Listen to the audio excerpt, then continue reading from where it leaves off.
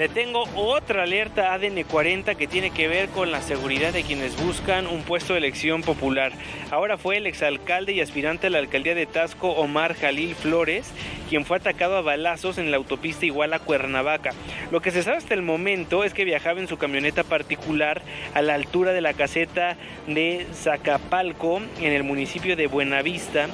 Lo interceptan sujetos armados que dispararon en contra de él, de su coche, y salió ileso afortunadamente. La Secretaría de Seguridad del Estado anunció un despliegue para buscar a los agresores y la Fiscalía Estatal señaló que se trató de un ataque para despojarlo de su vehículo, mientras que otras versiones indican que se trató de un intento para secuestrarlo.